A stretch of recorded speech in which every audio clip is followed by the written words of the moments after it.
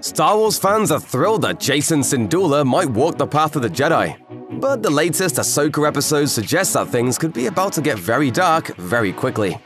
Ahsoka Tano is in a pickle. After being thoroughly defeated by Baylan Skoll in the previous episode, she spends a majority of Ahsoka's fifth part trapped in the Force limbo known as the World Between Worlds. Her experience there involves multiple flashbacks to the war-torn days of her youth, as well as a ghostly vision of her old master, Anakin Skywalker, who uses some characteristically aggressive methods to complete his former Padawan's training.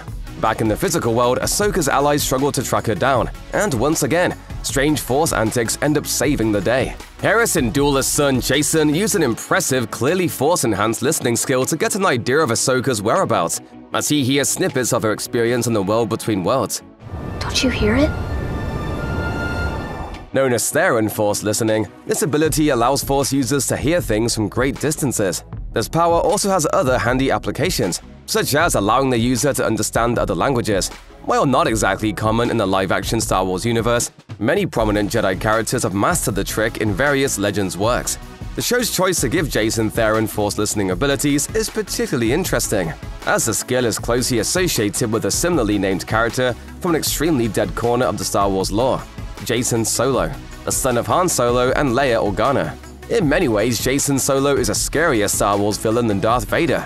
A prominent character in non-canon Star Wars novels, he starts out as a perfectly capable Force-sensitive kid, who eventually becomes a powerful and respected hero.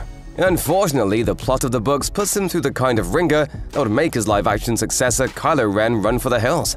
Jacen's path ultimately takes an unfortunate turn, and unlike Kylo, he goes all in on the dark side. As the Sith Lord Darth Caedus, Jacen becomes something of a tragic villain, but also a true terror who, among other things, kills Luke Skywalker's wife, Mara Jade. Any Legends fan will tell you that Darth Caedus is one of the most overpowered antagonists in the entire franchise, with a laundry list of Force superpowers that puts him almost on par with Luke himself. He's also notorious for picking up some of the stranger Force skills out there, including, of course, Theran Force listening.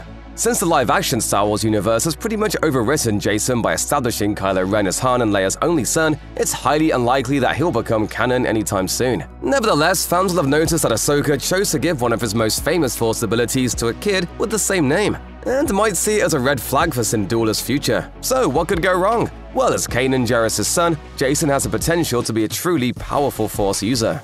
The fact that he's able to use a rare and obscure Jedi skill like Theran Force Listening with no training suggests a natural affinity with the Force.